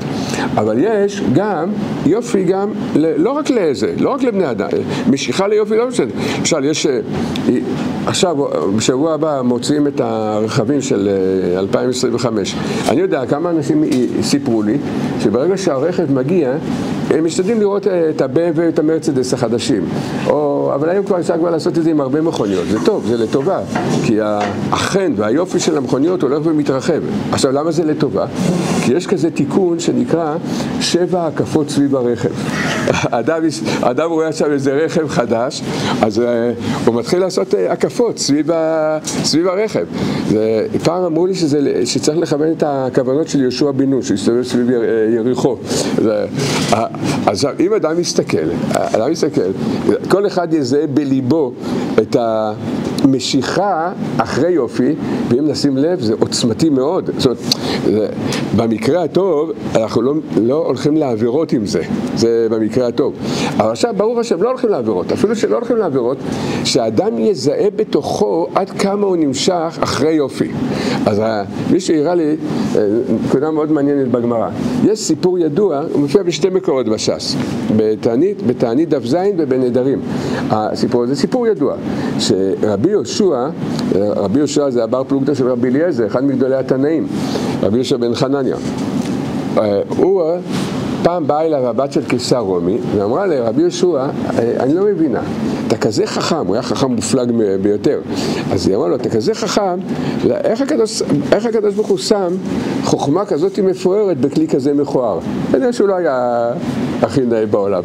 אז הוא אמר לה, את שאלת עליה שאלה, גם לי יש שאלה עלייך. אני לא מבין אתכם, את, את, את, את, את בית המלוכה, משפחת המלוכה. אמר לו, למה? אמר לה, תראי, כל העולם שרוצים לשמור יין, איפה הם שומרים את היין? בכלי חרס. בסדר, אנשים עניים, אבל אתם, שאתם כל כך עשירים וחשובים, אתם צריכים לשמור את היין בכלי כסף, כלי זהב, ואתם שומרים את זה בכלי חרס. היא חשבה, היא אמרה, הוא צודק.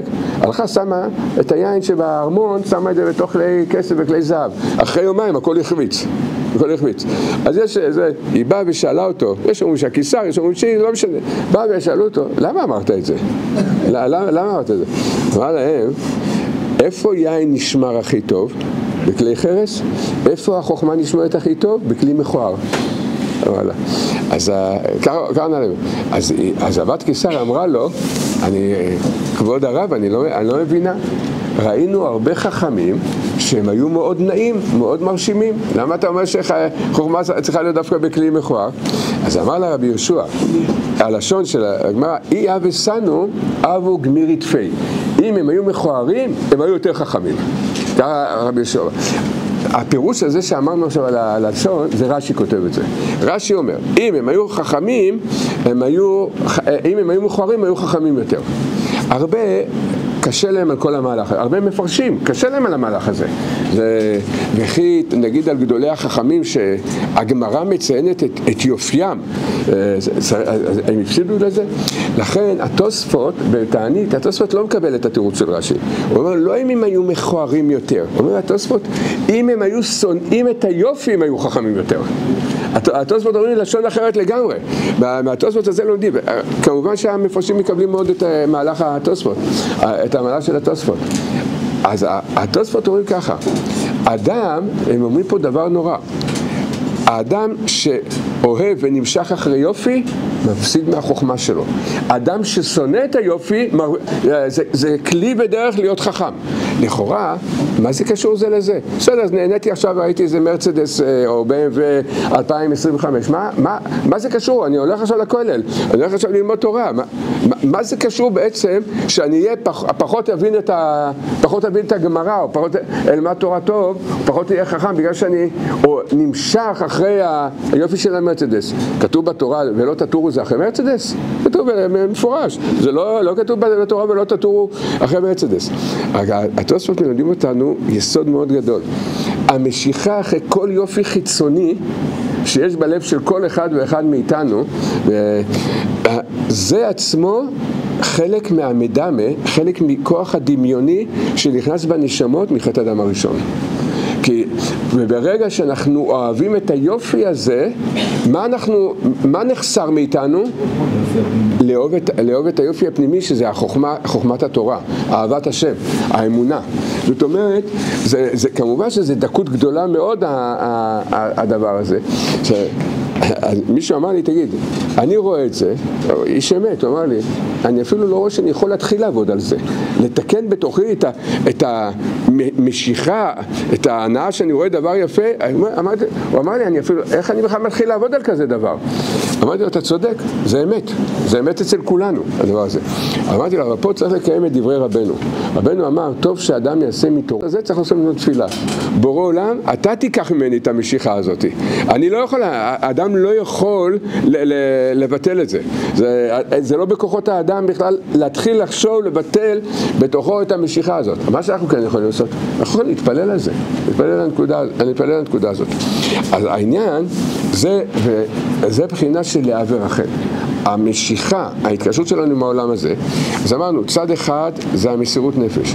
הצד השני, שזה לאה, זה ההתבטלות, ההכנעה לקבל את ההנהגה של הקדוש ברוך הוא. וכאשר נדע מתי צריך לעשות עבודה של לאה, מתי צריך לעשות, מתי נכון לעשות עבודה של רחל, אז אומר, רבנו אומר, זה כלול בדברי רבנו שהוא אמר, כאשר האדם בקיא ברצו זה רחל, בקיא בשוב זה לאה, כשאדם יש לו את הבקיאות הזאת, אזי ימין השם אה, פשוטה לקבל את תשובתו. אה, זה צריך להבין. עד שאדם לא בקיא ברצו, בקיא בשוב, לא, לא יודע את ה... השם לא מקבל את התשובה שלו? רבנו לא אמר את זה, רבנו אמר דבר אחר. כשאדם בקיא בזה, אז ימין השם פשוטה לקבל תשובתו. מה הכוונה? ימין זה חסדים. מתי התשובה, מתי מתחילים להנהיג את האדם בהנהגת החסדים? ככל שאדם בקיא במהלך של לאה ורחל, אז האדם, אז ההנהגה של ההנהגה משמיים כלפי האדם היא, היא יותר בבחינת, בבחינת חסדים. כפי הבקיאות בלאה ורחל, זה מבטל את הדין, זה, זה ביטול מידת הדין, והאדם חוזר בתשובה ברחמים וחסדים. זה הכוונה ימין השם פשוטה לקבל את, את, את תשובתו.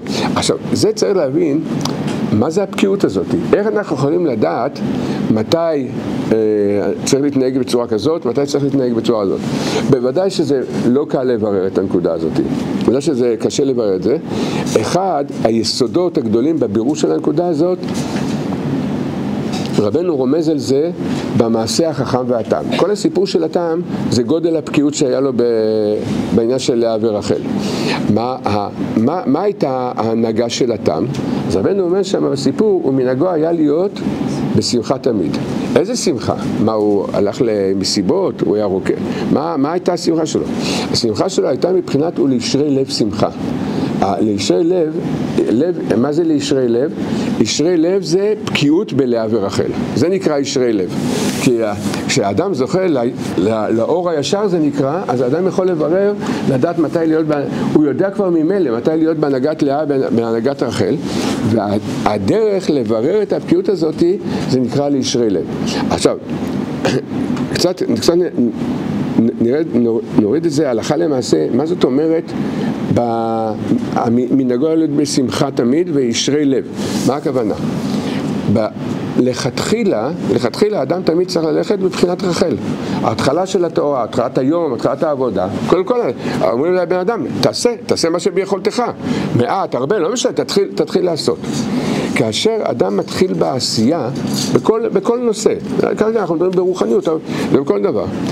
ברגע שאדם הלך יתר על המידה עם הנהגת רחל, מה הוא ירגיש? הוא מיד ירגיש את זה. כשהוא עבר את, את המידה הנכונה של רחל, והוא רצה לה, להמשיך את העניין של רחל, מתי שהוא היה צריך לעשות עבודה של לאה, הוא עשה עבודה של רחל, מה האדם ירגיש בלב? יכול, זה נכון, אבל מה? אבל גאווה, אדם אה, לא תמיד מזהה את זה בתוכו. אה, מה הוא ירגיש שהוא מזהה את זה? מטבע אחת. הרגשה אחת רק היא מחולקת לשתי צדדים. או שהוא ייכנס לעצבים, או שהוא ייכנס לעצבות. ברגע שאדם נכנס לעצבים, או שאדם נכנס לעצבות, שידע, זה, זה הפגם של ישרי לב שמחה, פה פגם, אתה פגמת בלאה ורחל. מה הכוונה פגמת בלאה ורחל? עשית מאמץ יתר על המידה. עכשיו, ברגע שאדם עושה מאמץ יותר מהמידה שלו, אה, כמובן שזה לוקח זמן לזהות את זה ולברר את זה, אבל ברגע שאדם עושה מאמץ יותר מזה, הוא נכנס למצב אה, בלב או שהוא עצוב, או שהוא כועס, ואם אדם מקצין, כשאדם, בוודאי שכולם, זה לכל העם בשגגה, כל הבחינה הזאת, אבל לפעמים אדם הולך ברוחניות, ב... אחד הדברים שרבנו תיקן אצלנו זה את הנקודה הזאת, לא לטעות יתר על המידה. אבל אני זוכר, היו מצבים, זה לא, זה, זה לא היה בברסלב, אה, שהלכו מאוד מאוד קיצוני עם העניין של רחל, אצל בעלי תשובה. היה איזה מקום, היה קיצוני עד הסוף. הגיע המצב, איזה צדיקים הם היו, היו אנשים שמוסרים את הנפש, אספר לכם דבר נורא. הגיע המצב שהם נתנו מכות רצח בבית. כולם התפלאו, איך בן אדם עובד השם, כזה צדיק, הגיע למצב שהוא מרביץ כאלה מכות בבית. זה, זה מעשים שקרו, זה, אנחנו מכירים את הסיפור הזה. באמת, איך זה קרה? ברגע שלא ידעת למתן, להכניס את העבודה שלך למסגרת הנכונה של אה, לשלב בין לאה ורחל, לאט לאט מצטבר בלב של האדם עוד כעסים, עוד עצבים. בשלב מסוים, כמו שאומרים, הרב וולבה אמר לי פעם את הדבר הזה, שאי אפשר ללחוץ על הקפיץ יותר מדי. לוחצים על הקפיץ יותר מדי, אתם יודעים מה קורה לקפיץ? הוא משתחרר. ומשתחרר, כשהוא משתחרר, והוא יכול לכפר עוון, מה שאדם יכול, למה שאדם יכול להגיע שהוא עושה. אז העניין של, העניין של להישאל לב שמחה זה לברר, לברר את זה. עכשיו, למה האדם עצוב או כועס כשהוא עשה עבודה יותר מ...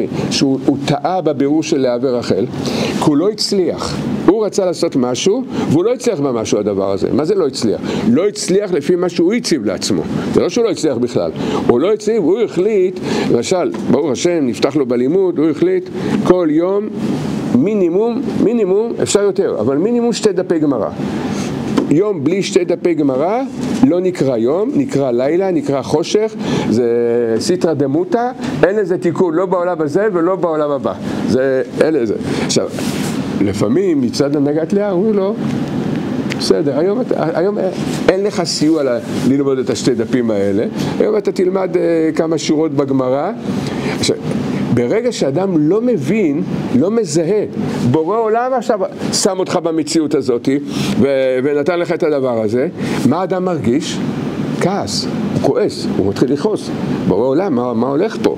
אז עכשיו הוא מתחיל לחפש אשמים. בדרך כלל, אם אדם נשוי זה מסודר, זה, תמיד אפשר להשיב את האישה. היא אשמה בכל, זה, זה, לכן זה נוח. אם היא במקרה, השבוע הזה הייתה צדיקה, לא עושה שום דבר, אז זה הראש כולל, או החברותה, או השכן. מוציא מישהו, על מישהו להוציא את הכעסים ואת. מוציא מישהו למצוא, להשאיר עליו את הכעסים ואת הכבדות. ומה לא מבינים? מה, מה הטעות פה? בורא העולם רוצה שהיום תעבוד אותו ככה, עם חצי דף גמרא, הוא רצה להעביד אותך. ואתה תגיד תודה רבה שהוא, זה, שהוא נתן לך לעבור את היום הזה עם חצי דף גמרא. כי יש כזה דבר שלפעמים שולחים את האדם בכלל לחוץ לארץ. לא, לא, לא, זה לא חייב להיות בגשמיות. היום, היום יש אה, מסעות, אה, זה, חלליות, זה תוך כמה שניות, אדם נמצא בזה, בלאס וגאס או אה, בברזיל או בתאילנד, זה, זה שניות לוקח. לא העבירו אותך כזה יום, תגיד תודה על הדבר הזה. ואם העבירו אותך כזה יום, אז ברור העולם רצה שתעבוד אותו ביום כזה. כן, שאתה תרחף בכדור הארץ מהקצה הזה לקצה הזה. העניין של, העניין של איחוד לאה ורחל זה לזהות כאשר הקדוש ברוך הוא מעביר אותי מעברים ולקבל את, ה, ולקבל את המעבר הזה בצורה נכונה. לקבל את זה בצורה נכונה זה לא הכוונה, בסדר, אם כך אתה רוצה, בסדר, אז אני עושה מה שאני רוצה. לא, חס ושלום. אדם תמיד צריך לשמור במה שהוא יכול על גדרים, יש דרך, יש, התורה נותנת לנו גבולות, נותנת לנו גדרים נכונים, רק תדע שאתה רואה, אולי נפרצו הגבולות, אולי לא נפרצו, אולי אתה לא עשית את העבודה שציפית ציפית מעצמך שתעשה, תבין, מבחינת לאה זה להבין, בורא עולם רצה שאתה תעשה את העבודה הזאת. אז כשאדם יודע, כשאדם אין לו בירור לאה ורחל, הוא כועס ומקפיד ועצוב כשזה לא קורה מה שהוא היה רוצה שיקרה. כשיש לו ייחוד לאה ורחל, הוא לא מתרשל לעשות את מה שביכולתו, אבל הוא בד בבד יודע לקבל את ההנהגה של הקדוש ברוך הוא, ככה בורא רוצה, ככה בורא רוצה, עולם רוצה להנהיג אותי. לכן הייחוד הזה הוא, זה בעצם, אז רבנו אומר, בקיא ברצו זה רחל, בקיא בשוב זה לאה, רצו זה עלייה, ברחל עולים, בלאה בדרך כלל יורדים. שבע יפול צדיק וקם, זה. למה? כי אי אפשר לקבל את הדעת של לאה, שזה הכנעה, אלא על ידי, אלא על ידי ירידה. ירידה זה לא אומר דווקא עבירה, לפעמים גם זה, אבל זה לא חייב להיות ירידה. פתאום הכל נחשך, וימש חושך של מצרים, אדם לא רואה שום דבר, אדם לא מבין שום דבר, מעבירים אותו, תקבל גם את ההנהגה הזאת. כן, יש עבודה גם בחושך. בריאת העולם, ויהי ערב ויהי בוקר. לאור קרא יום ולחושך קרא לילה. מתי זה היה? מתי הוא קרא לאור יום ולחושך לילה? ביום הראשון של בריאת העולם. זה, זה ודאי, לא לקחת אחריות על זה שיש חושך. בורא עולם, שישה ימים לפני שהוא ברא אותנו, כבר ברא את החושך.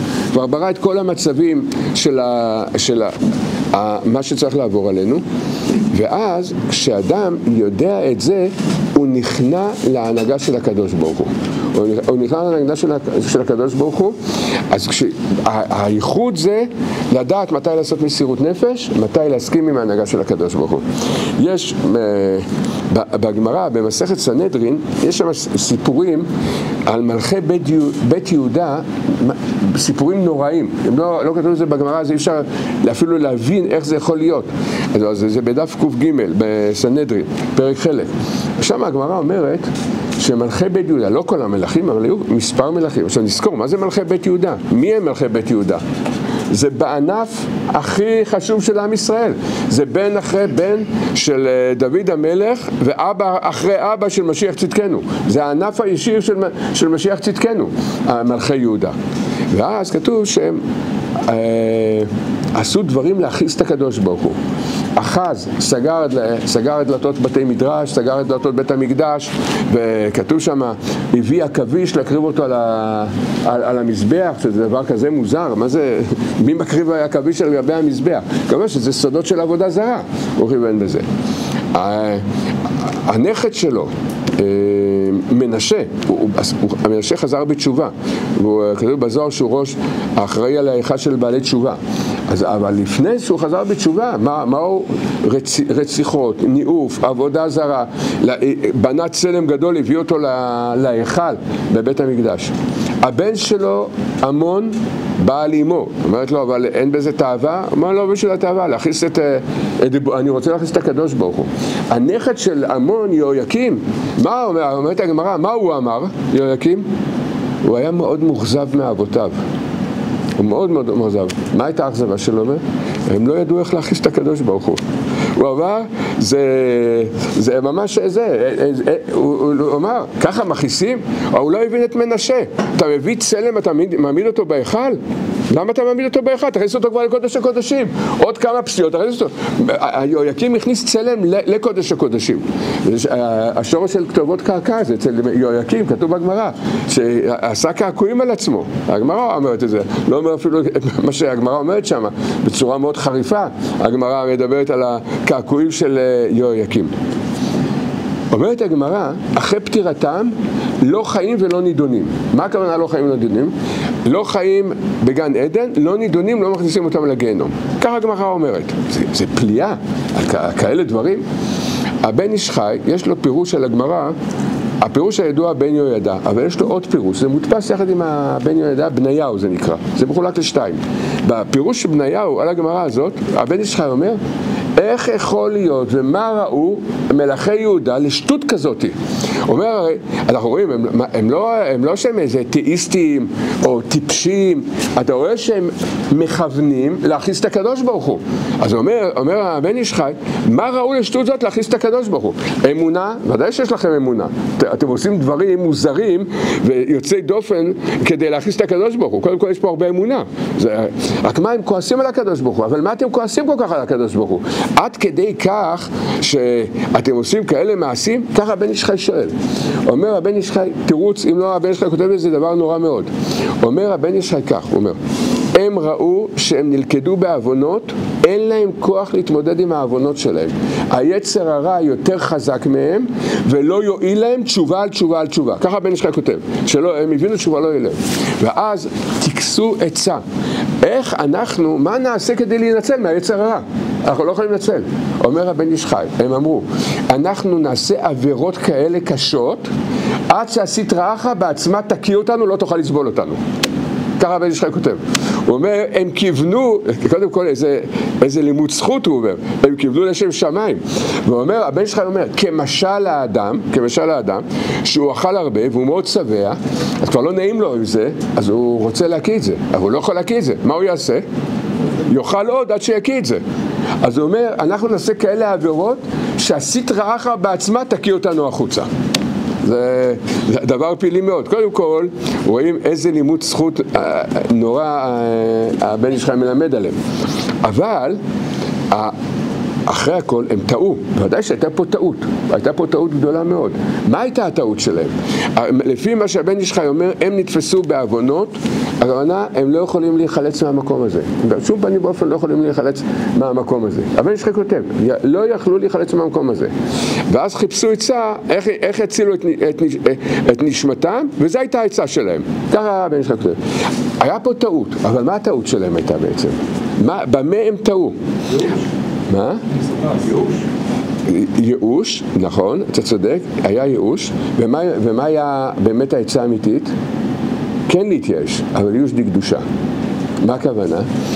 נכון, אתם לא יכולים, אתם לא יכולים. מה הייתם צריכים לעשות? אל תלכו לעשות יותר הבנות אה, שתקיא אתכם לסטרה אחת, אלא תבואו בהכנעה לקדוש ברוך הוא, אתם חסרי אונים. אם אתם חסרי אונים, אתם לאה. כל שכן הם, שהם מלכי בית דוד, יהודה, זה שזה לאה. הם שורש תיקון לאה. מה הייתם צריכים לעשות? הייתם צריכים ללכת לבקש מהקדוש ברוך הוא ברחמים ותחנונים, להגיד לו, בורא עולם, אנחנו לא יכולים כנגד העץ הרע, אתה יכול, אנחנו מבקשים ממך שתציל אותנו. כמה זמן? חמישים שנה, שישים שנה. אם הם היו כל הזמן הולכים עם הנקודה הזאת, הם היו מתקנים, את הכל הם היו מתקנים גם בלי כל, הזה, כל, ה, כל הירידות האלה. הם היו מתקנים את זה. למה הם לא עשו את זה? מה הסיבה שהם לא עשו את זה? אז צריך להמליץ עליהם טוב, הבן חייב להמליץ טוב. אני אגיד לכם למה. כי עוד לא היה את רבנו בעולם. בכלל, הם לא ידעו לעשות את זה. הם, הם לא ידעו את העצה של, הם לא שמעו עדיין, עוד לא הייתה בבריאה את הצעקה, אין שום ייאוש בעולם כלל. אל תתפעלו מכל מה שקורה, אל תתפעלו מכל מה שקורה, ועוד פעם תיכנעו, ועוד פעם תעשו תשובה, ומשמיים גם יראו לכם שזה בכלל לא מתקבל, לא שמים לב. מסך ברזל, ירד מסך הברזל, כמו אצל הקומוניסטים. לא מתקבלים התפילות שלכם, ולא, יתר על כן, הסמ"ם היה משדר להם לתוך המוח מי, מי רוצה אתכם בכלל? תראו איך אתם נראים, גם אף אחד לא רוצה אתכם. חבל על הזמן בכלל שתעשו תשובה, זה סתם, אז, אז סתם טורחים לחינם. ואם היה, היה את רבנו, והם היו לוקחים בנקודה הזאת, אתה תספר לי את מה שאתה רוצה סיפורים, אני יודע מה אני צריך לעשות, אני לא מתייאש. ולבוא להגיד לקדוש ברוך הוא, להגיד לו, כן, בעולם אני מתייאש, אבל אני מתייאש ייאוש דקדושה. מה זה ייאוש דקדושה? התייאשתי מעצמי, לא התייאשתי מהרחמים שלך. מיד אדם מעלה את, את, את הייאוש למקום הכי גבוה, לשורש התיקון. אז הייאוש זה שורש הקליפה ושורש התיקון. רק שזה יהיה ייאוש דקדושה, לא להתייאש מהרחמים של הקדוש ברוך הוא, לא לכעוס עליו, לא, לא, לא, לא, להקפיד, לא להקפיד עליו. אז עכשיו, הבן ישראל כותב, שם הוא כותב, אומר, מה שכתוב בגמרא, והם לא נידונים ולא חיים. והגמרא אומרת, לא מכניסים אותם לגן עדן, לא לגיהנום. אז הבן איש חי שואל, שם במאמר הזה בבניהו, אומר, בסדר, אבל לא יידח ממנו נידח, תיקון, צריך לתקן אותם. אז מה התיקון שלהם? הבן איש חי שואל, מה התיקון שלהם? אז אומר, הבן איש חי דבר נפלא, אומר, ש... הקדוש ברוך הוא מחלק את נשמתם לחלקים, זה נקרא ניצוצות, וזה חסד. רבנו ארי אומר שזה חסד שהקדוש ברוך הוא מתקן, מחלק את הנשמה לניצוצות. למה זה חסד? כי ברגע, יש נשמות כאלה, הן כל כך קשות לתיקון, ולהתעסק עם כל הנשמה כולה זה יותר מדי בעייתי. אז הקדוש ברוך הוא מחלק אותה לניצוצות ניצוצות, לתקן ניצוץ, כבר אפשר, זה יותר קל לתקן את הניצוצות. אז הוא אומר שהקדוש ברוך הוא חילק את הנשמות הגדולות האלה לניצוצות.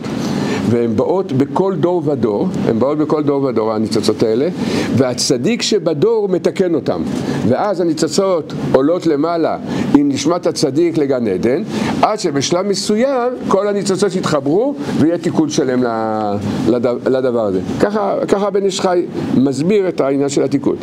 הנקודה הזאת של כל החלוקה הזאת, המקור של זה זה שאר הגלגולים של רבנו ארי. הוא שם מרחיב בנקודה הזאת, רבנו ארי. העניין של הניצוצות האלה כשהן באות, אז זה לא, לא, לא בעוצמה שהן היו, שהן היו כל הניצוצות ביחד. אתה יודע, שיש חבורה של אנשים שהם מאוד בעייתיים, תפריד ביניהם. קודם כל תפריד ביניהם, טפל אחד-אחד, ביחד אי אפשר לטפל בהם כולם ביחד. אז ה... מה, מה הניסיון של הניצוצות האלה? מה הניסיון של הניצוצות האלה? הניסיון שלהם זה עבודה של לאה, הרבה עבודה של לאה. שהעבודה של לאה זה ההכנעה, לקבל את ההנהגה של הקדוש ברוך הוא ב... ולא, ולא להתייאש במקום, כאשר מראים לאדם מציאות שכל השכל וההיגיון אומרת, אתה חייב להתייאש. זה, זה מציאות שאתה חייב להתייאש. לא להתייאש זה לא הגיוני. לא צריך להיות אצל רבנו הגיונים, זה הפוך. בדרך כלל צריך, כשמתקרבים לרבנו צריך להבין, נכון, אני לא הגיוני. להגיד, להגיד לסמ"ך מהם, כן, כן, אתה צודק. הוא, הוא משדר לנו שאנחנו לא הגיונים. להגיד לו, כן, אני לא הגיוני, נכון, אתה צודק, אני לא הגיוני בדבר הזה. כי הוא, הוא יסביר הגיונית למה צריך להתייאש ולהיות עצובים ומדוכאים. להגיד לו, תראה, אני אגיד לך, הגיונית, שכלית, אתה צודק, אני לא הולך פה עם השכל, אני הולך פה עם, עם הלב, אני הולך פה עם נקודת הלב, עם נקודת הצדיק. אז הניצוצות האלה, הם, הבירור שלהם זה ההכנעה, שזה לאה, זה, זה סולם שלם. יש הכנעה של אדם, אה, יש לו בעיות אה, אולי בבית, אולי בחינוך ילדים, אולי בפרנסה, אבל איפה הכי קשה לברר את לאה? איפה הנקודה, לברר את נקודת ההכנעה זה הכי קשה, המקום הכי קשה, כשלאדם יש יצרה שהוא לא יכול להתגבר עליו. שמה זה, שמה זה הנקודה הכי קשה לבירור. כי שמה זה לא מישהו אחר מציק לי, זה בתוך הנפש של האדם עצמו, יש, הוא מזהה חוסר אונים בתוך הנפש שלו. ובפרט בפרט בתאוות הגשמיות של העולם הזה, ששם האדם מזהה. הכי קשה, הכי קשה זה שאדם רואה שלכאורה הוא שבוי במידות העולם הזה, או תאוות העולם הזה, שם, והוא מנסה, והוא ניסה שנים, ולא עזר שום דבר, שמה לא להתייאש, שמה לא להתייאש ולא לכעוס על הקדוש ברוך הוא ולהמשיך, להגיד, ללכת עם, הדרך, עם הנקודה של ייאוש דקדושה, זה הכי קשה שמה לעשות את, ה, את, ה, את העבודה הזאת, הבחינה הזאת, ואז כתוב שהנשמות של הדור האחרון הם מהמלכות דמלכות. מה זה המלכות דמלכות? המלכות דמלכות זה, כתוב, הזוהר אומר שעל המלכות דלת לה מגרמי כלום, אין לה מעצמה כלום. מה הכוונה לעצמה? כלום. התחושה של החוסר אונים שאדם מזהה בתוכו על המעברים, על המציאות שעובר, זה נקרא בירורי המלכות. ושם צריך לשים לב לא לכעוס על הקדוש ברוך הוא, לא להקפיד על ההנהגה של הקדוש ברוך הוא, אלא להפוך את זה לרחמים ותחנונים ולייאוש דקדושה. בייאוש דקדושה, לא בכעס ולא בהקפדה, להגיד לבורא עולם, בורא עולם, אני לא יכול להתמודד עם המציאות הזאת, אבל אתה, אבל לך יש רחמים כאלה ואתה תציל אותי. שאדם מתעזק בזה. ואז הוא למעשה מתקן את לאה. אז עד כאן זה רבנו ארי והבן איש חי שם. קצת ש... אה, הוספנו על הבן איש חי מדברי רבנו ארי. אז אני רוצה להגיד הגעה. רבנו אמר שמותר להמציא חידושי תורה גם אם הם דמיונים, רק עד שנה את ההלכה. אז אני קצת רוצה לספר לכם מהדמיונות שלי, זה לא, זה, זה קונספירציות דמיוניות. אז, אז מהדמיונות, כשראיתי את הבן חי הזה, אמרתי, הרי הבן חי אומר שמחלקים את זה לניצוצות, את, ה, את העבודה הזאת, את המציאות הזאת. נראה שבדור שלנו שולחים הרבה ניצוצות כאלה. של לתוכנו, שולחים הרבה ניצוצות ומעוררים בתוכנו, מעוררים בתוכנו התנגדות. בורא עולם, למה אתה מנהיג אותי בצורה כזאת? קירבת אותי אליך, קירבת אותי לתורה, קירבת אותי לצדיק. ברוך השם, התחלתי להרגיש כבר את הטעם של גן עדן, שבאמת, אתה והצדיק והתורה זה גן עדן, להיות פה זה, זה להיות בגן עדן.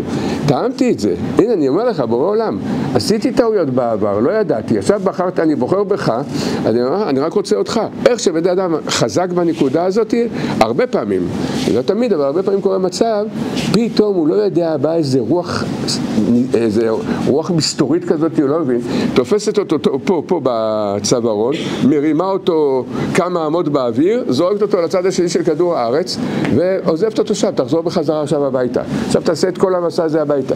אז אדם אומר, ברור עולם, למה אתה מנהיג אותי ככה? הרי אני גיליתי את דעתי, גיליתי את דעתי שאני רוצה אותך. אתה האמת, ואני עכשיו אומר, אתה האמת, עכשיו אתה פתאום מעביר אותי בכאלה מעברים, זה כדי לתקן את הניצוצות של מלכי יהודה.